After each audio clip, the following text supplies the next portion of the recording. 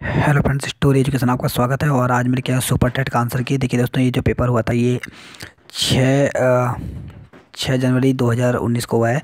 तो चलिए इसका आंसर की लेकर आया हूँ। तो देखिए दोस्तों आ, हमने यहाँ पर वन से लेकर के और फिफ्टी तक के आंसर मैंने आपको बता दिए पार्ट वन में। अगर आपने नहीं देखा है तो आप हमारे डिस्क्रिप्शन लिंक में और कमेंट बॉक्स में जाकर भी डायरेक्ट हमने लिंक डाली हुई है और यहाँ से भी आप वन से लेकर फिफ्टी तक क्वेश्चन के आंसर आप देख सकते हैं। तो इस पार्ट में हम सेकेंड जो पार्ट है, हमारा इसमें हम फिफ्टी से हंड्रेड तक क्वेश्चन कंप्लीट कर लेंगे। तो चलिए मैं यहाँ से फिफ्टी से आपको आंसर बताता हूँ। तो फिफ्टी यहाँ पे रीजनिंग का क्वेश्चन था, इसका मैंने आंसर आपको बता दिया था पार्ट वन में। तो इसका जो सही आंसर था वो था यहाँ पे थर्ड अब नेक्स्ट क्वेश्चन है यहाँ पे बिट का विस्तृत रूप क्या है? तो बिट का जो विस्तृत रूप है, वो है यहाँ पे बाइनरी डिजिट तो यहाँ पे सेकंड ऑप्शन जो दिया गया है, वो यहाँ पे सही दिया गया है। नेक्स्ट क्वेश्चन यहाँ पे बी एल ई का विस्तृत रूप है। तो वी वी एल ई का जो विस्तृत रूप होगा, वो होगा वहाँ पे जो थर्ड ऑप्शन दिया गया है। वर्चुअल लर्निंग इन्वायरमेंट तो यहाँ पे थर्ड ऑप्शन सही दिया गया।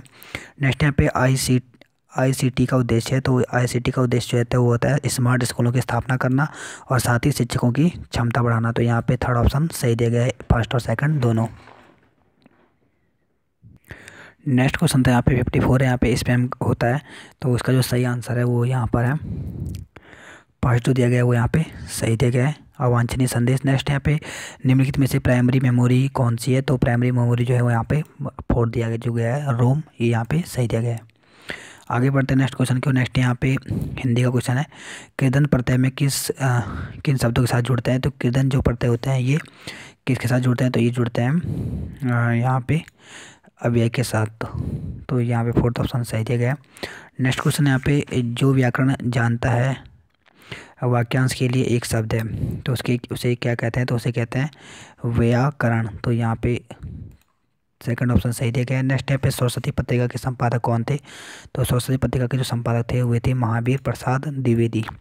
तो सेकंड ऑप्शन यहाँ पे सही दिया गया नेक्स्ट है पे चिदम्बरा पर ज्ञानपीठ पुरस्कार प्राप्त हुआ। तो किसे मिला था चिदम चिदम्बरा के लिए ज्ञानपीठ पुरस्कार?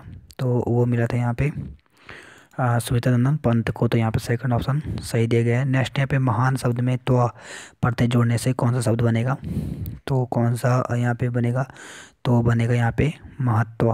तो यहाँ पे थर्ड ऑप्शन सही दिया गया है। नेक्स्ट क्वेश्चन यहाँ पे, महावीर प्रसाद द्विवेदी ने आदिकाल को क्या संज्ञा दी?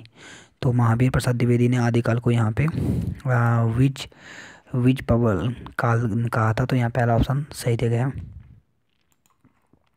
नेक्स्ट यहाँ पे सिक्सटी टू हिंदी शब्द किस भाषा से लिया गया है? तो हिंदी जो शब्द है, वो किस भाषा से लिया गया तो ये लिया गया है फारसी से। तो यहाँ पे सेकंड ऑप्शन सही दिया गया है। नेक्स्ट यहाँ पे निम्नलिखित में से तत्सम शब्द है। तो तत्सम यहाँ पे कौन सा है?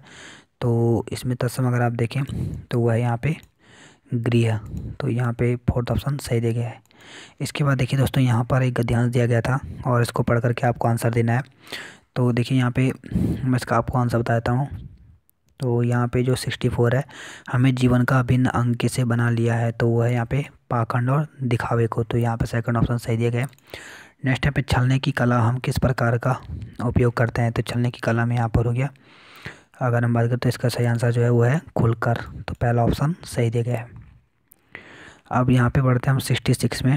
यहाँ पे दिया गया है बीती विवावरी जागरी अंबर पंथगढ़ में डूब रही तारागढ़ ऊषा नागरी उपयुक्त पंक्तियों में अलंकार पूछा गया है।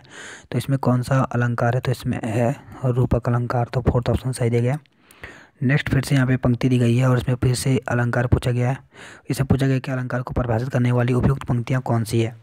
तो इसमें कौन सी है? तो वो है यहाँ पर केशव दास। तो यहाँ पे पहला जो ऑप्शन दिया गया है तो इसमें जो पहला ऑप्शन दिया गया यहाँ पे केशवदात यहाँ पे सही दिया गया। नेक्स्ट क्वेश्चन यहाँ पर। निम्नलिखित में से कौन सा शब्द सरस्वती का पर्याय नहीं है? तो सरस्वती का प्राय कौन सा नहीं है? यानी कौन सा सरस्वती का प्रायवाची नहीं है? तो वह है यहाँ पे जावी तो फोर्थ ऑप्शन सही दिया गया है। नेक्स्ट यहाँ पे मैं, हम, तुम, तू, तुम आदि शब्द हैं। तो ये जो है, ये पुरुषवाचक सर्वनाम है। तो यहाँ पे फोर्थ ऑप्शन सही दिया गया है। नेक्स्ट क्वेश्चन यहाँ पे निम्नलिखित में से महाप्राण व्यंजन कौन सा है? तो महाप्राण पूछा गया है। तो महाप्राण यहाँ पे क छ ट, था, फ, था यहाँ पे सेकंड ऑप्शन सही दे गया है। अब आगे बढ़ते हैं नेक्स्ट क्वेश्चन क्यों नेक्स्ट यहाँ पे जब प्रथम शब्द संख्या वाची और द्वितीय शब्द संख्या हो तो सम तो समास कौन सा होता है? तो वो होता है यहाँ पे द्विगु समास। तो यहाँ पे पहला ऑप्शन सही दिया गया है। नेक्स्ट फिर से यहाँ पे पूछा गया है कि यहाँ पे आपको एक पंक्तियाँ दी गई थी और इसमें अलंकार पूछा गया है। तो इसमें कौन सा अलंकार होगा? तो इसमें जो अलंकार है, वो है यहाँ पर दृष्टांत अलंकार तो यहाँ पे फोर्थ ऑप्शन सही गया है। नेक्स्ट यहाँ पे पूछा गया कि योजक चिन्ह इसमें से कौन सा है तो इसमें से जो योजक चिन्ह है वो है यहाँ पे थर्ड वाला। इस प्रकार का जो है ये योजक चिन्ह है। नेक्स्ट क्वेश्चन यहाँ पे, बुद्धिमान शब्द किस संवर्ग में है? तो बुद्धिमान जो शब्द है, वो है यहाँ पर विशेषण में। तो यहाँ पे सेकंड ऑप्शन सही दिया गया है। नेक्स्ट यहाँ पे कवि का स्त्रीलिंग है तो कवि का जो स्त्रीलिंग होता है, वो होता है कवित्री।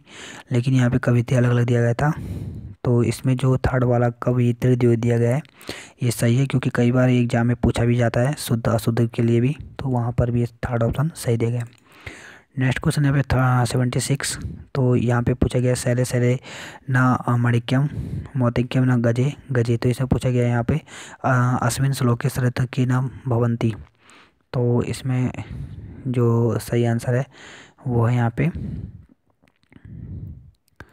चंदनम। तो यहाँ पे फोर्थ ऑप्शन सही होगा। नेक्स्ट यहाँ पे सूर्योदय पद में प्रयुक्त समास है। तो सूर्योदय में कौन सा समास होगा? तो वो है यहाँ पर तत्पुरुष। तो यहाँ पे थर्ड ऑप्शन सही दिया गया है। नेक्स्ट यहाँ पे दा दश्यति क्रियापद में लकार है। तो इसमें कौन सा लकार होगा? तो इसमें लट लकार है। तो पहला ऑप्शन सही दिया गया। है नेक्स्ट क्वेश्चन यहाँ पे उदिति सविता ताम्र एवं स्मृति चौथे। इसमें पूछा गया सविता की दृश्य उदिति। तो इसका जो सही आंसर है वो है यहाँ पे ताम्र, क्योंकि आंसर यहीं पर से मिल जा रहा है आपको। आगे बढ़ते हैं नेक्स्ट क्वेश्चन की ओर। नेक्स्ट वहाँ पे एटी वन देखें तो पितृ स्व का अर्थ है। तो पितृ स्व स्वशा का अर्थ क्या होता है? तो होता है, इसका मतलब होता है बुआ। तो पहला ऑप्शन सही देगा नेक्स्ट है यहाँ पे गम धातु लिट लकार मध्य पुरुष बहुवचन का रूप है। तो वो है यहाँ पे गमिष्यत। तो यहाँ पे थर्ड ऑप्शन सही दिया गया है। नेक्स्ट यहाँ पे माहेश्वर सूत्रों की संख्या है। तो माहेश्वर माहेश्वर जो सूत्रों की संख्या होती है वो फोर्टीन होती है, यानी चौदह सही दिया गया। नेक्स्ट यहाँ पे गा पद में विभक्ति वचन है। तो गा पद में जो विभक्ति वचन है, वो है द्वितीय बहुवचन। नेक्स्ट यहाँ पे हसंती पद में पढ़ते हैं। तो हसंती पद में पढ़ते कौन सा होगा? तो वह है यहाँ पे पहला। तो यहाँ पे पहला सही दिया गया है। नेक्स्ट क्वेश्चन यहाँ पे इंग्लिश का है देखिए यहाँ पे ये यहाँ पे एटी सिक्स से एटी सेवन है और यहाँ पैसे दिया गया तो मैं इसका सीधा आंसर बता देता हूँ आपको तो एट्टी सिक्स का जो सही आंसर है वो यहाँ पे फोर्थ यहाँ पे सही दिया गया है नेक्स्ट है यहाँ पे एटी सेवन तो एटी सेवन का जो सही आंसर होगा वो यहाँ पे जो दिया गया है वो यहाँ पे फोर्थ यहाँ पे सही होगा नेक्स्ट यहाँ पे एटी एट और एटी एट का जो यहाँ पे अगर हम बात करें तो इसका जो सही आंसर वो यहाँ पे थर्ड जो दिया गया है वो यहाँ पे सही आंसर है। नेक्स्ट यहाँ पे एट्टी नाइन और इसका जो सही आंसर है वो है यहाँ पे फोर्थ ट्वेंटी और ट्वेंटी फोर नेक्स्ट क्वेश्चन था यहाँ पे नाइन्टी और इसका जो सही आंसर है वो है यहाँ पर थर्ड जो दिया गया है। Atul said he friends you can make use of my bike while I am अभी तो यहाँ पे थर्ड ऑप्शन सही दिया गया। आगे बढ़ते हैं नेक्स्ट क्वेश्चन की ओर। नाइन्टी वन और इसका जो सही आंसर है वो है एडवर्ब। पहला ऑप्शन सही दिया गया। है नेक्स्ट यहाँ पे नाइन्टी टू और नाइन्टी टू का जो सही आंसर है वो यहाँ पर। फोर्थ यहाँ पे सही होगा on the top of the hill यहाँ पे सही दिया गया। नेक्स्ट यहाँ पे नाइन्टी थ्री और इसका जो सही आंसर होगा वो होगा यहाँ पे। यहाँ पे जो थर्ड ऑप्शन दिया गया वो सही है। नेक्स्ट यहाँ पे नाइन्टी फोर और नाइन्टी फोर का जो सही आंसर होगा वो होगा यहाँ पे फोर्थ नेक्स्ट यहाँ पे नाइन्टी फाइव और नाइन्टी फाइव का जो सही आंसर है वो है यहाँ पे फोर्थ यहाँ पे सही दिया गया है। अब आगे देखते हैं हम नाइन्टी सिक्स की और नाइन्टी सिक्स का जो सही आंसर होगा यहाँ पे, भारतीय राष्ट्रीय कांग्रेस के प्रथम मुस्लिम अध्यक्ष थे तो वो कौन थे? तो वो थे यहाँ पे बरुद्दीन तेबजी तो यहाँ पे थर्ड ऑप्शन सही दिया गया है। नेक्स्ट यहाँ पे नाइन्टी सेवन साइमन कमीशन के विरुद्ध प्रदर्शन में लाठी चार्ज से लगी चोटों से किस नेता की मृत्यु हुई? तो वो हुई थी यहाँ पे लाला लाजपत राय की तो पहला ऑप्शन सही दिया गया। नेक्स्ट यहाँ पे नाइन्टी एट और नाइन्टी एट का जो सही आंसर है, वो है यहाँ पे दिया गया कि लोकसभा द्वारा पारित धन विधेयक को राज्यसभा विचार विमर्श के लिए अधिकतम कितने दिनों के लिए रख सकता है? तो वो है चौदह दिनों के लिए तो यहाँ पे थर्ड ऑप्शन सही दिया गया। और नेक्स्ट पे प्रायद्वीप भारत का सबसे दक्षिणतम बिंदु कन्याकुमारी स्थित है। तो कन्याकुमारी कहाँ स्थित है? तो वह है भूमध्य रेखा के उत्तर में। तो यहाँ पे थर्ड ऑप्शन सही दिया गया। और नेक्स्ट यहाँ पे निम्नलिखित समुद्री धाराओं में से कौन सी अटलांटिक महासागर की धारा नहीं है?